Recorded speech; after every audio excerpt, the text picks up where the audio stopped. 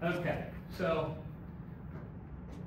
have a look at this slide uh, when you get a chance uh, on your own. And if you haven't watched the bird video, watch it because it kind of explains this. And what it does is it's kind of cool. It takes it from the perspective of COVID. And for example, well, I, in here they talk about COVID in the workplace, but uh, you could apply it to anything, all right? And um, it's interesting because it looks like it, takes a look at the personalities and how they interact with, with the COVID-19 situation, not just the virus itself, but everything that went with it, right? Um, it's been a few years already, but you remember the COVID situation.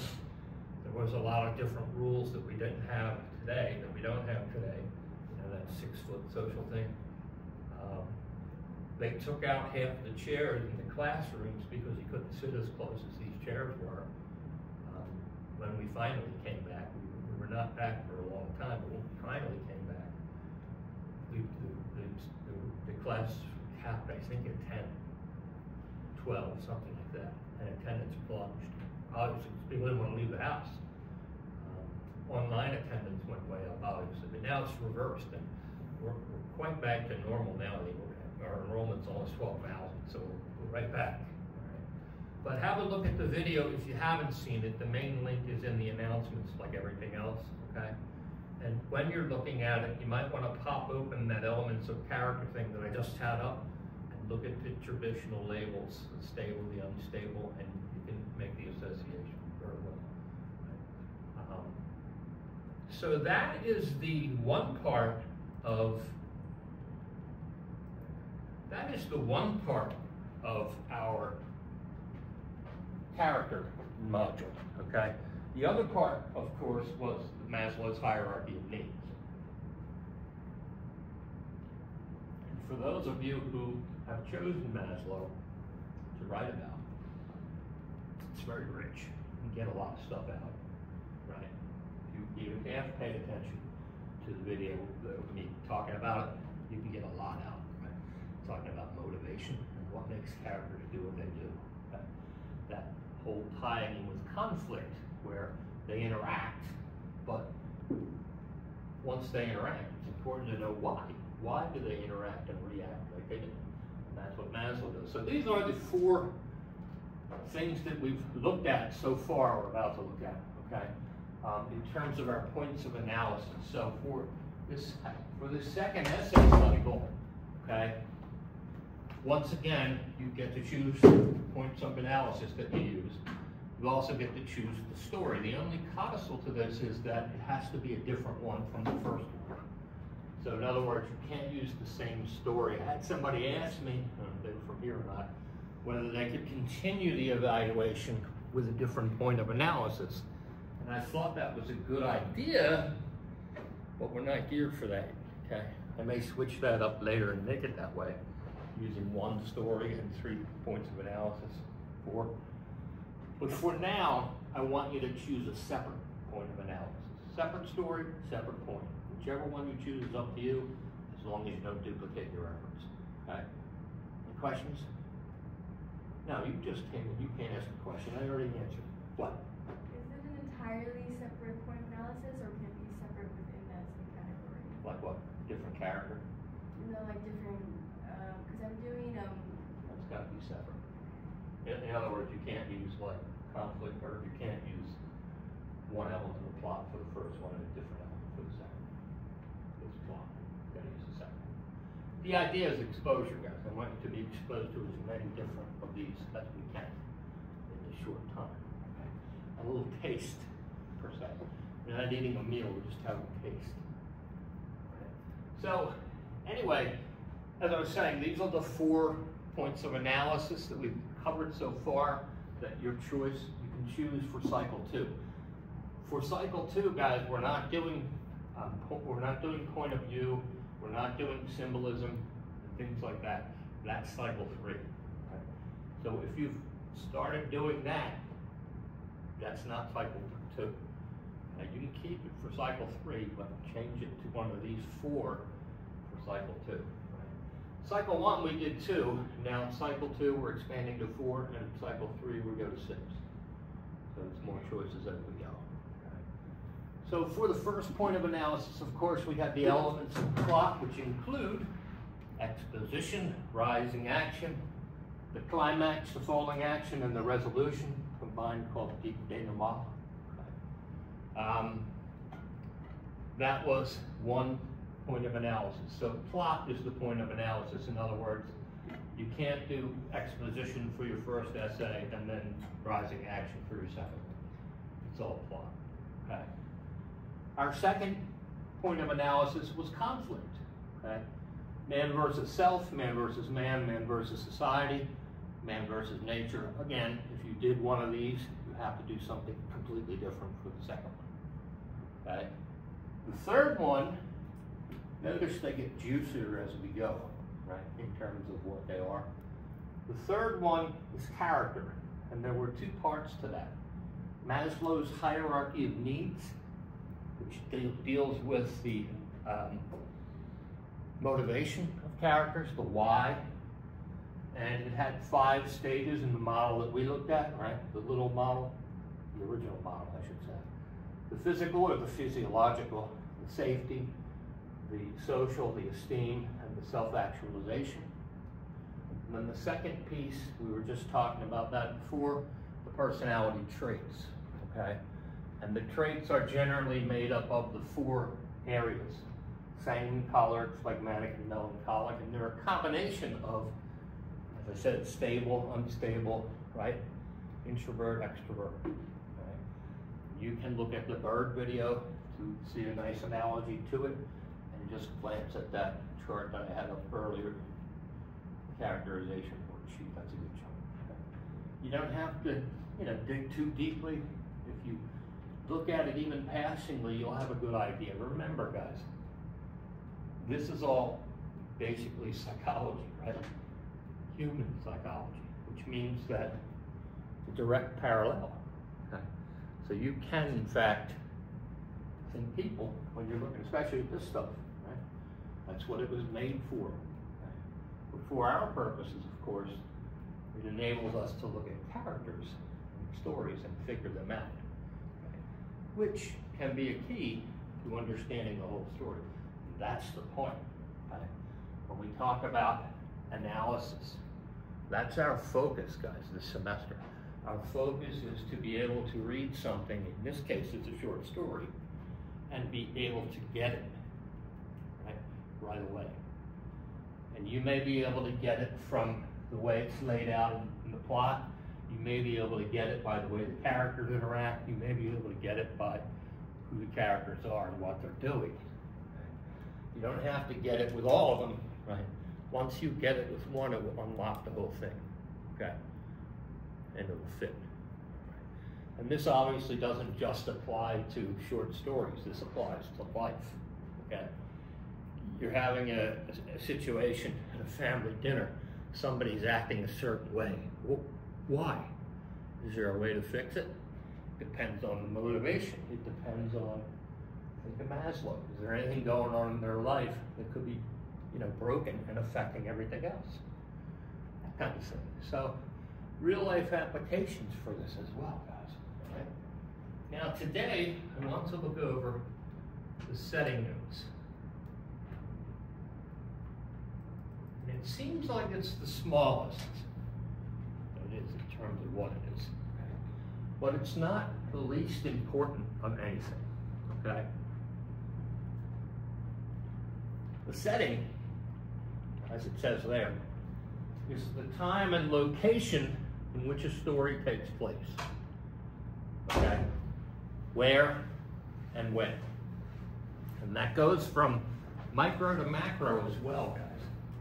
We talk about time, we talk about the tense that the story is written in. Is it written in past tense? Is it written in present tense? Or is it written in future tense? Past tense would be was, were, right? I saw the tree. I saw the tree already. I see the tree, right? I'm looking at it right now in the present.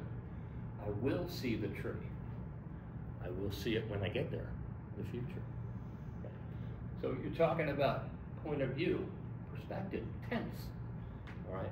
Past, present, and future in terms of the story itself. Now, most fiction is written in past tense. Why?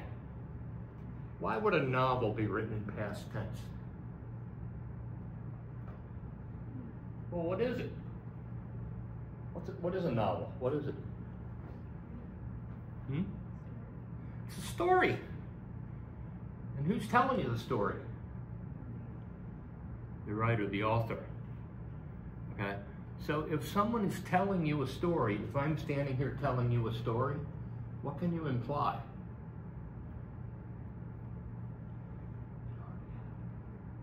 It already happened. Because otherwise, how would I know? Right? I can't tell you a story if I don't know what happened. Now, we could be walking together and be taking part in a story. That's the I see the tree thing. Now, if we're walking together and we're talking back and forth, and I'm telling you a story and things are happening as we walk and whatnot, now we're in present tense, that's different. Okay? But most books, most fiction is written in past tense. And the reason is, of course, because the author already has to know what happened in order to tell that story. So most stuff is written in past tense. It's an example of one of the aspects of setting, okay? The tense of the story. Okay? The location. Where does the story take place? Okay? Is it important? Some stories, the location really isn't important. It's just, you know, just the author just needs a place to set the characters. And it doesn't really affect anything. That whole idea conflict, and we said, uh, what is conflict? It's a significant interaction, right, that advances the story. That last part advances the story. That's key. Because you can take that and bring it right into setting. Okay? Does the setting affect the story? If yes, then how? If no, then move on. Okay? It's not, setting might not necessarily be a good point of analysis for you to choose if it's insignificant. Okay. What do we mean by, can somebody give me an example of how a story where the setting is significant? If it takes place, Say again? if it takes place in a certain. Give me an example. You're right, but give me an example. How about Jaws? That, We've used Jaws. Can Jaws take place in the Arctic? yes. Arctic, no. Wait, Arctic, no. I'll Just try. Well, No. No. you're really creative with it, ocean. maybe. Why not? Because there's, There's no beach factor. exactly, there's. Yeah, there's no just beach factor, right? This is what, what I mean by significant, right? So Jaws needed that beach scene for a lot of things, but one of the main conflicts was man versus society, where the chief wanted to close the beaches, remember? And the mayor wouldn't let them because they didn't want to lose the Fourth of July business, right? That's why they hired Quint. Remember, Quint says, "I'll put you all on a paying basis, so you don't have to be on welfare all winter." If it was in the Arctic, that wouldn't be a concern. It would be a different concern, right? Because there would be no beaches to close. So, yeah, in Jaws' case, the setting is significant, right? And you needed the water, the ocean, because that's where sharks are. So that's an example of a significant setting. You could use that as a point of analysis. You could look at the setting. Again, we got the primary thing and then secondaries, right? So the primary setting of Jaws would be in the ocean on that boat in the last scene in the movie where they're hunting the shark. But secondary scenes would be the, the chief of police's house, right? The chief of police's office, the hospital after the shark attacks. And there's lots of little little secondary settings, if you will, that paint paint the picture. Right? You need them all to paint the full picture. But again, just like conflict and just like uh, personality traits, there's a primary. What's the primary setting in the monkey's paw? For those of you who read the monkey's paw, anybody? It's in the White House, isn't it? Not the White House, the White Family House. Right, that's the primary setting. They talk about a couple of secondary settings, like the guy who brings the monkey's paw talks about, you know, his travels briefly. And then they talk about the son's workplace briefly.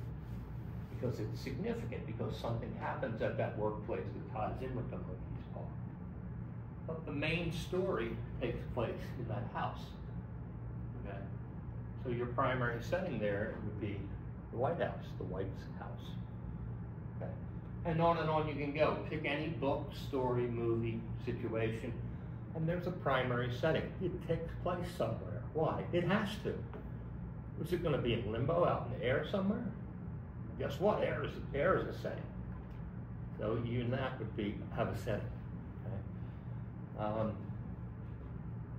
so the place, okay, ask yourself, does this story have to take place here? Okay. If you think it does, then you can ask the question why, and then you can start digging, and that gives you a nice point of analysis into your story. Okay. The time. Time is huge, guys. It's not just, you know, oh, it's 1028. It's it's also the era. Right? When does it take place in terms of history? Okay?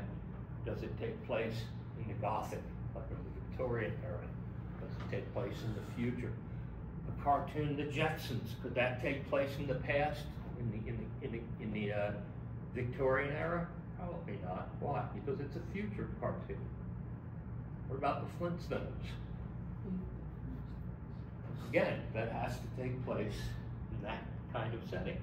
Now, there's an argument that says the Flintstones is actually the future. Because in the theme song, they call them the modern Stone Age family. So they think the Flintstones might be after a nuclear war.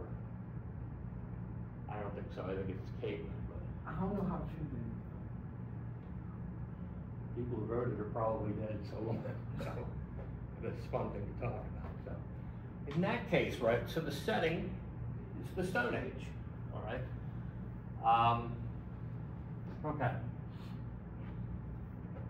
The place, okay, we talked about the geographical location. Where is the action or the main part of the story taking place? It doesn't always, again, it doesn't always have to be significant, right? But there is at some place in the story a primary. And if that primary is significant, then you're good to go. The time, okay? When? The historical period, the time of day, the year, etc.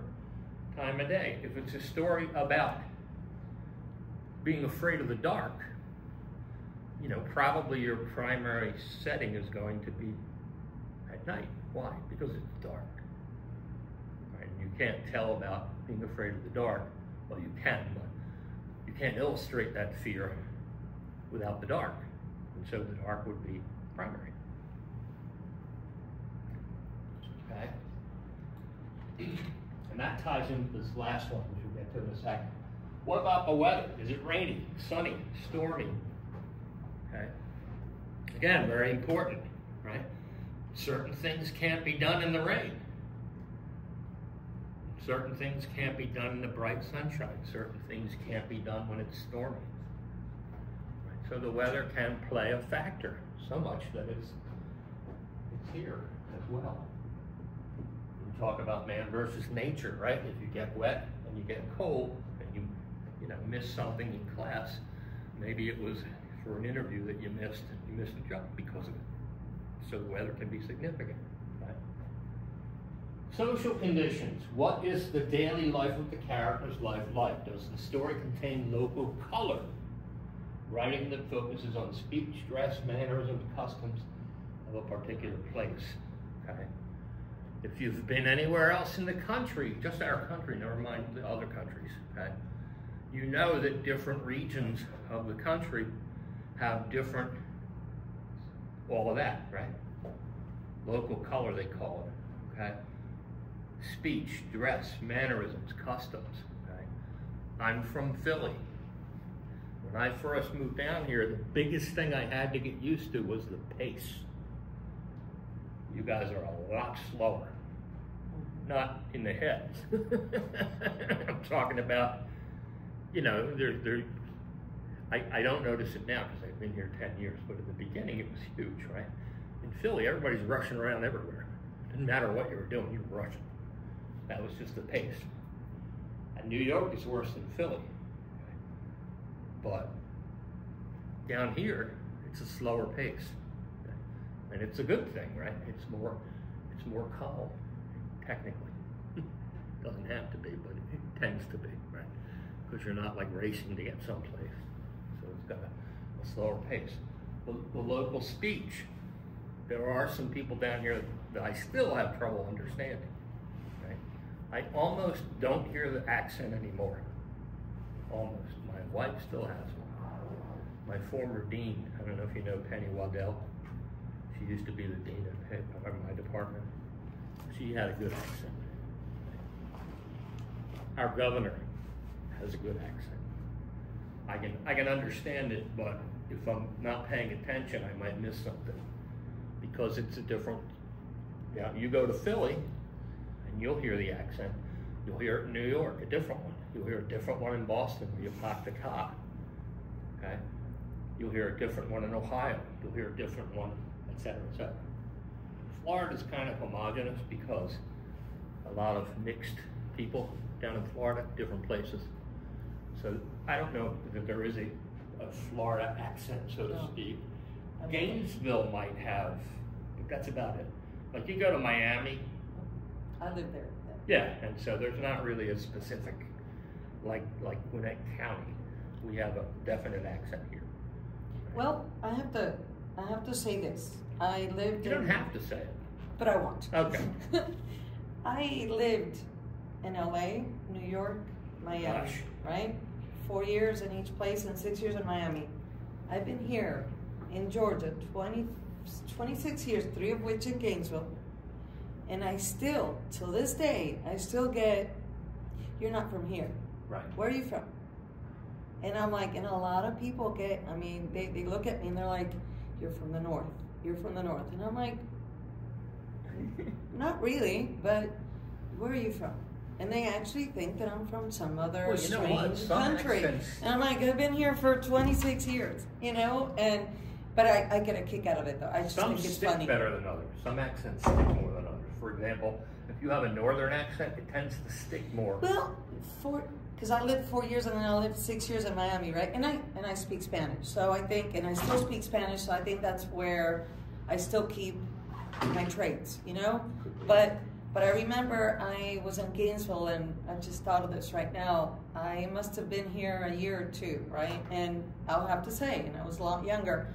But Gainesville was like this major culture shock for me, living in other bigger cities and coming straight to Gainesville and now it's bigger. Now it's you know it's grown a lot. But and I'm like, I think I, was- uh, I was working at a bank and I had this gentleman, his whole entire life here in the South, and I said, "Good morning, good morning. How can I help you?" I don't know what I said, but and I was a teller, and he says. And I almost took it, I almost felt bad. I almost took it like, oh my gosh, I'm gonna die. He says to me, "You- You're not from here. You must be a Yankee. And, and I'm like, that's not so good here in the South for you to be a Yankee, you know? And I'm like, oh my gosh. And I, I must have been 21, 22 years old. So, but now I don't, I don't it doesn't bother me anymore. Like, Blanket term Yankee. They call me a Yankee. We're not. I'm not a Yankee because And I'm like, no. But that's that's people here, and I love Right. Georgia, and I learned to love it. This is my home. But in the beginning, I'm like, people think that other people are. I'm not going to say that we're racist, and I said it. But people here in the beginning, I used to think that people here were stereotypical, you know, and I don't know Racist, and- Yeah, and I'm it's like- not really racist. It's this thing. But- it's this whole local color, that kind of thing. It's not really racist per se. They're just kind of trying to figure out where you're from, right? I mean, like I said, I love. I come to love Georgia, and I don't. I wouldn't live anywhere else. But be in the beginning, it was a little bit shocking, you know. where is? What? What did you say? that I love it here and that Yeah. I wouldn't live anywhere else. You know, I don't Yeah. I don't care to anymore. You know, this is this is where I'm from. But I just talking about how I felt like in the beginning. You know, the first couple of years that I lived in Georgia, I'm like, it's supposed to be warm. It's supposed to be friendly. You know, and I don't know. But but now I, I think differently, you know. I, I just I love it here. Here, the winter down here, right? You know, yeah. I know you were talking about warm in a different way, but you said warm and that reminded me Oh of weather. yeah yeah yeah the the the, the My weather and I gosh. My first winter here, it went down to like twelve the whole time. And I'm like, where am I? uh You know, because twelve is cold for Philly. Uh huh And here I But am it's here and it's not- twelve. I'm like, kidding me, right? But anyway, so that's all part of it, right? That's all part of the local area. Words even, there are certain words people use, pop, soda, Coke, Coke, right? Used to be down here, when you talked about soda, you just said Coke. Up where I'm from, it's soda. To, in Ohio and parts Midwest, it's pop. And then there are other areas where it's soda pop and whatever they call it. Um, but that has to do with the local local culture. It's hard in the United States because you think American, right? And yeah, we're all Americans, and sometimes we forget about that. We're all Americans, but we all have background, and and all of the areas in America have backgrounds too. And if you get into the area, smaller parts of the area have backgrounds. So you know, you go from macro, which is American, to micro, which is town to town. Okay, different color, if you will, right? Do they dress differently, and why, right? So down here, the first thing I did, stupidly, was to get rid of all my heavy winter coats. And I, two weeks later, I needed one. But now, I mean, I think this weather is more normal now. The winters we've been having is probably normal for this area now, where you don't really get super cold for a long time. Okay. But you know that affects the dress. To Kill a Mockingbird, tying it into literature because English class. To Kill a Mockingbird by Harper Lee. Okay, takes place in a, a fictional town in Alabama called Maycomb, Maycomb County and she spends almost the whole exposition talking about the town and the weather. And she drags the, the line, the plot line, the exposition out extra long because she wants the reader to get a feel for what it's like to live in a slow southern town in the middle, middle of summer. Okay. It affects you. When it's hot, you can't do certain things comfortably, right? Just like when it's cold, you can't do certain things comfortably. So, again, that's this is the local color. This is the the dress, the customs, right? The first time I was riding in, down the street with my wife, and a funeral went by, and she pulled over, and I'm like, "What are you doing?" Apparently, it's a custom down here some of you are looking at me like you don't know what I'm talking about. You're probably not from here. Oh, yeah. You have to It's wait. custom to do that. Yeah, yeah, Yeah. You have to wait over and until. show respect. yeah. Yeah, we didn't do that up north. I mean, we still respected, but we didn't pull over. Now, funerals ran red lights. If you were part of a funeral, you could go through the light. You didn't have to stop because they wanted everybody to stay together. But you didn't have to pull over. But down here, we pulled over. I'm like, what are you doing? Well, thought, here I. I realize that they make you the, the police and everything. They make you stop and help them. Uh, that, that's I I've run into that, and I don't I don't seem to do it automatically. I do it because You're there's so. a no. I mean the motorcycle police officers are are stopping the traffic. Hmm. That's what I've gone into. They they stop the. They make you stop. It's not like I do it because. Well, I don't know how of much of that is but- courtzy or how much of that is the law. I don't think it's you the know, law. I, I just I just remember several times where oh you know I have to wait at a light or at a stop because there's the um, police uh, officer that there's one like stopping the traffic and Yeah, let the let them pass yeah. by. yeah. You know, so it's like you have respect. You have to respect that you they're making you to. That that's what I've Well, seen. And, and that's an example of something know? that happens down here that doesn't happen, for example, where I'm from. And I'm sure we had things where I'm from that you didn't have down here. The use of the horn, for example, in the car. that's different from place to place. If you've never been to New York, guys, and you plan on going to New York City, the first thing you'll notice is uh, everybody's got their hand on the horn. If you're nervous, don't drive because people are constantly on their horns in that city. I mean, they are a lot where I'm from too, but not nowhere near as much as New York. Now, you know, of course, there's a rivalry between Philly and New York and Philly and Boston, Boston and Philly, blah, blah, blah. So that could also be me a little bit prejudiced in terms of against New York, but I don't think so. A city is a city is a city. You go to a city pretty much anywhere in the country and they have their own personality, right? People who live in Atlanta, and that's another thing that's different. Philly has about 2 million people that live in Philly, but in Atlanta it's not as, um, it's more of a commute, commuting place than it is a living place. You have some people, but nowhere near as many as in other places. And so when you have people that live in the city, people who live in Atlanta and people who live in Philly and people who live in New York, I mean, city people are city people, no matter where you are. Okay. So when you're talking about local color and flavor and culture, you probably can't throw the city in there as much, unless you're talking about. Because people in Gwinnett County are different than people in downtown Atlanta. I'm not talking about Fulton County, I'm talking about the city, in, in the city. They're just different. City people are different, because they have to be, I guess. I've lived in the city, it's different. it's a different experience. It's fun, depends.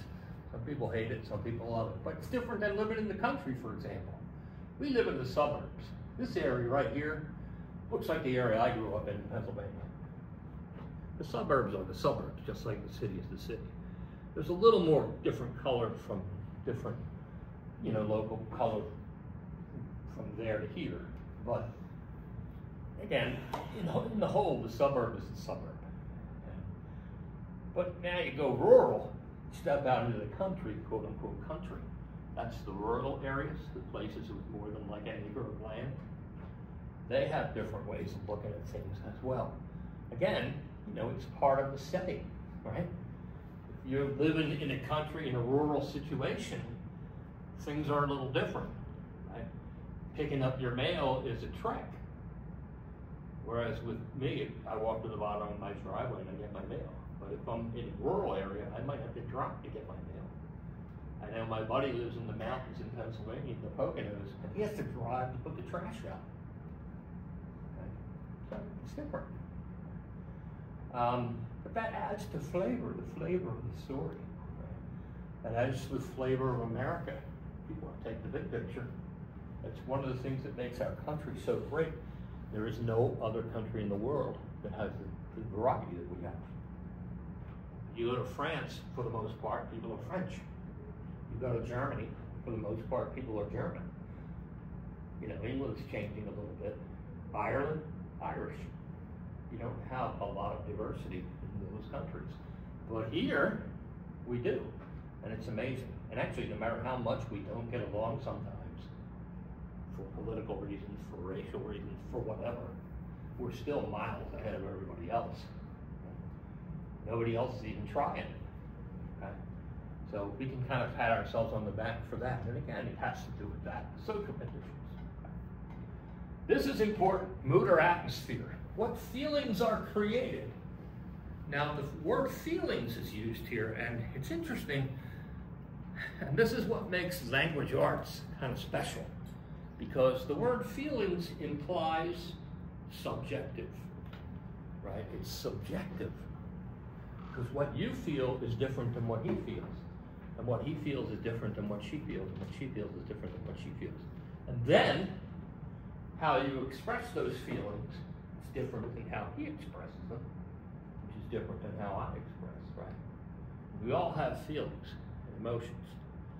But the extent or level and the expression of those feelings are as varied as, as we as a people are. Okay? Not everybody reacts the same way. Okay? So this this whole feeling thing is subjective. However, in the case of a short story, okay, if it's significant enough to be used as a point of analysis for what we're talking about, it's going to be obvious, right? It's not going to be subtle. In a lot of cases, when you're dealing with people directly in the real life, it can be subtle dealing with feelings. That's why we have such a grand time getting along. Because it's not always obvious. And Sometimes, especially if you're in a relationship, sometimes you're thinking and feeling a certain way, and it's the complete opposite of how your significant other is thinking. It's hard. It's hard to figure that stuff out. But in our short stories, if this is important, what feeling is created, it's gonna probably whack you over the head with a big stick. Okay? For example, a story about a haunted house. Okay? The mood or feeling that's created traditionally at the beginning is creepy, isn't it? You know, usually you have this image, for example, of a haunted house. You're not picturing a brand new suburban duplex. You're picturing an old Victorian mansion with the shutters hanging off. You know, and, and it's dark. Maybe there's a storm going on. And it's run down. We have a certain image when we say haunted house. Just like we have a certain image when we say the beach. Some people picture this beach, some people picture that beach, some people picture this, that, the other. We say the woods, certain images, are subjective, depending on your experience, depends on what you're seeing when I say that. If I say tree and I go around my room, I'm going to get, you know, 25 different descriptions of a tree because we're all not picturing the same tree? I'm picturing the Japanese maple that was on my front lawn growing up. It's a great climbing tree that had red leaves, too, dark red leaves. It was a great climbing tree. All the branches were perfect until my friend fell and broke his arm. and there was no more climbing. That's what I picture. And you might picture something, you do picture something completely different. Why? Because you didn't grow up in my house with that tree out front. It's subjective. But when we're telling stories, particularly in novel or short stories, and then the equivalent in Hollywood movies, okay, they gotta be a little more obvious about it if that's significant, right? They want you to have the feeling, the mood. Now, there are opposites, right? Sometimes they do the opposite because the traditional is so played out that it doesn't have the desired effect anymore. What do I mean? Well, the horror story that takes place, you know, at two o'clock in the afternoon in a new suburban duplex. Why does that work? Well, because it's shocking. It's a surprise. You don't expect it. When you hear haunted house, you have this image in your head. And now the author's taking you on a different spin. Okay? So it's an old idea in a new way, if you will. And that works too sometimes. It's done correctly. So what is the feeling created at the beginning of the story? Is it bright and cheerful or is it dark and frightening? Using the monkey's paw example, when you're in that living room with the whites, okay? It's a very kind of pensive, heavy atmosphere, just by the description, okay? Um, and furthermore, when you take a, a story and put it in a movie, now you have the choreography, the, or, or yeah, that too, but you have the, the score, the, the music, okay? And certain musics make you feel a certain way. The movie Jaws, that two-note bass thing.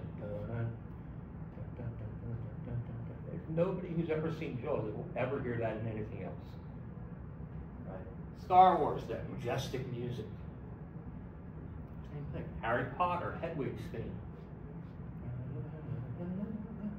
You'll never hear that any other way. So that's part, that has become part of the setting. Okay? The idea of the music. Okay? So where is this established? Well, we said when we were talking about the elements of plot and we were into the exposition, we said the exposition is where the author exposes us to the setting and the characters. So generally speaking, it's introduced in the beginning because it's usually important enough for, for no other reason than a place to put the characters that the author tells you pretty much right away. Okay? And they don't always say, you know, it depends on the genre. If you use noir literature, uh, crime noir, where it's like a very blunt, they might say it was a dark, stormy night. The room was cold. They might describe it like that, which is obvious stuff. But in most cases, it's a little bit more subtle than that. They won't tell you it's a dark, stormy night. They'll show you by what the characters are doing and how the characters are reacting. Jake shuddered as lightning flashed across the sky. Well, I'm not telling you there's a storm. I'm telling you Jake shuddered because of lightning, which implies, obviously, that there's a storm. Okay? So right in the beginning, okay, the time and place are a series of times and places. That's where we said there's a primary setting and secondary settings as well. Most stories have more than one setting, guys. Okay? Not all, but most. Think of your favorite movie or book. There's lots of little settings throughout. I said in Jaws, right? The main setting is the end when they're on the boat. But there's lots of little other settings as well that are important, they're not central to the story per se. Okay? Will be established as naturally as if you were looking around and taking it in for yourself. Okay?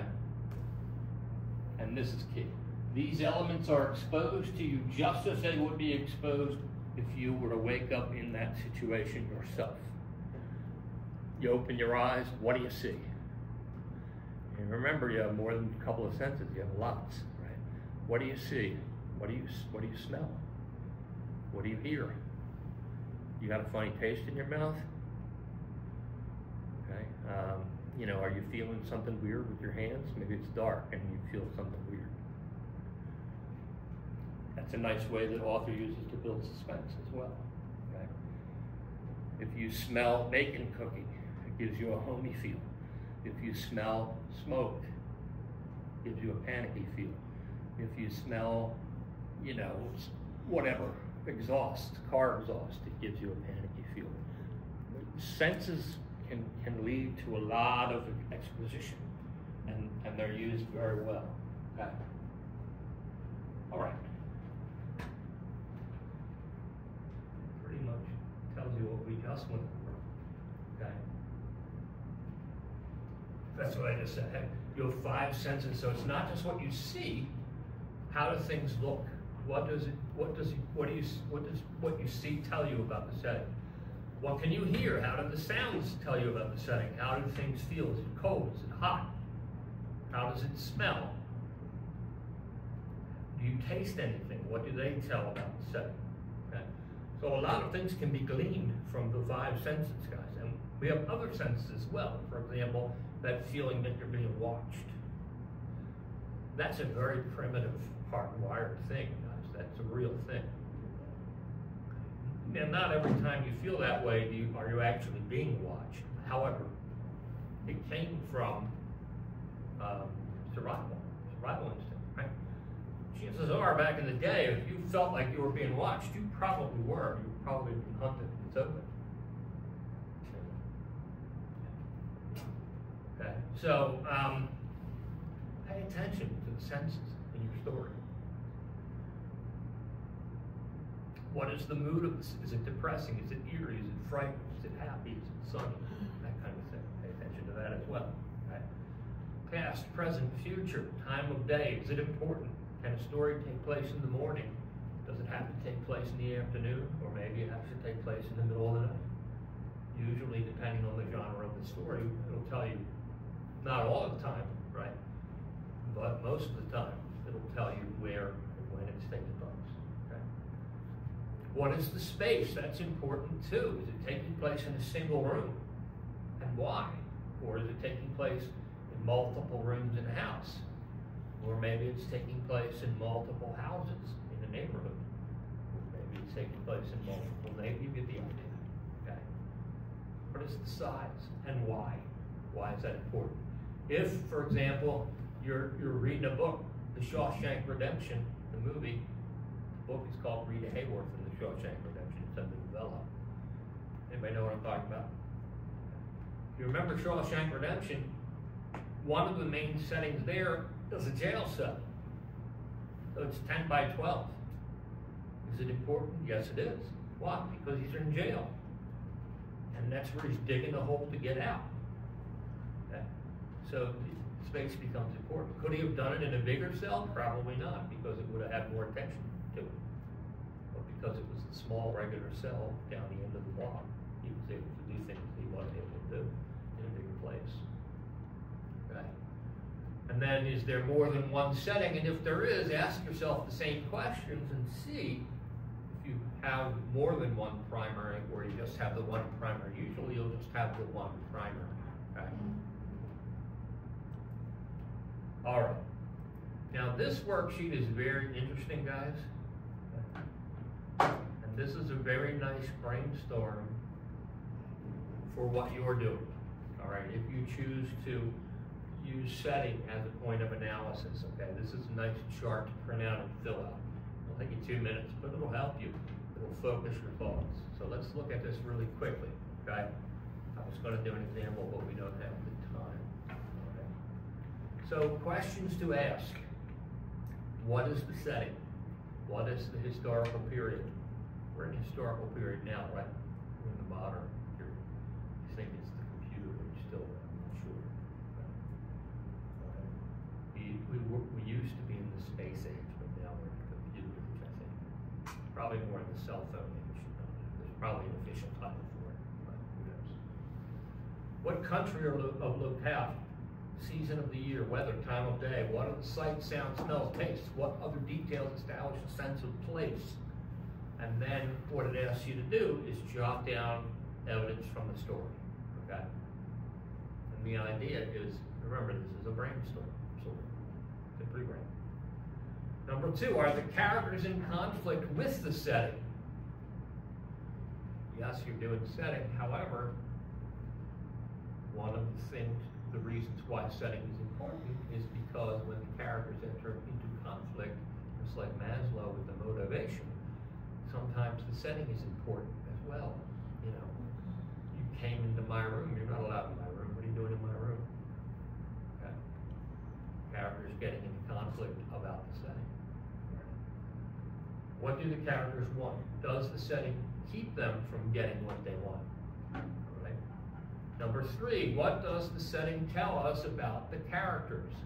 What feelings or attitudes do the characters reveal toward the setting? Are they afraid? Do they feel pleasure? Are they challenged? Do they dislike it? Do they respect it? Other feelings or attitudes. Okay? How would you describe the atmosphere or mood created by the setting? Is it gloomy? Is it cheerful? Mysterious? Threatening? Other. Okay? Can be a very integral part of the story. Okay? You have to ask yourself the question what effect does it have on the story? Is it effective enough to the point where you can do it as a point of analysis? Okay? Does it, does the setting affect the outcome in any way? Okay? Choose setting. Okay? Setting can be a very big point of analysis to use, guys, if you so choose. What, how do you get there? Yeah. How do you get there, here, where I can look to those? Oh, okay, I'll show you in a second.